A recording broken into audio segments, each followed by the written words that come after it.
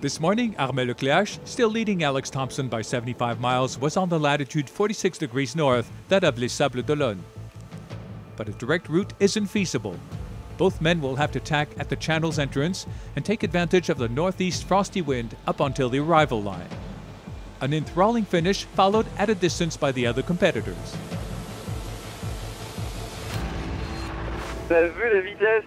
Considering Alex Thomson's speed lately, he's got the bit between his teeth. And he's going to do everything he can to take over Armel. He's going to feel the heat till the very end. It'll be tight, but he'll keep up. That's what I wish him, because to finish three times third would surely be hard to cope with. He deserves the win. It's his year.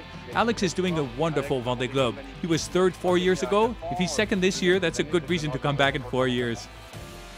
The coming hours will be decisive, with an outcome planned for midday Thursday.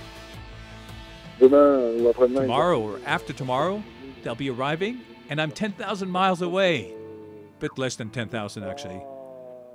Wow, not easy to live with that thought. Wow, the guys will be going home. When I see what's left for me to cover, feels weird, really.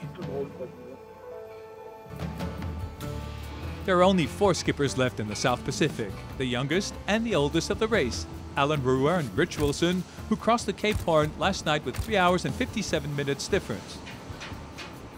3,500 miles ahead, not far from the equator, Louis Burton can finally savor the mildest of the tropical climate. Bonjour à tous. Hello to all. Welcome on board Bureau Vallée.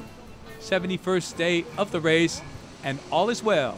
Gliding at 50 knots in the trade wind, and will soon be reaching the equator. Anxious to be back with you all. It is now wash time on board Bureau Vallée.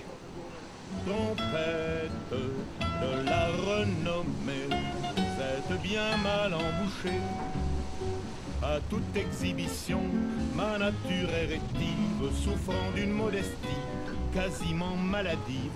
Je ne fais voir mes organes procréateurs à personne excepté mes femmes et mes docteurs.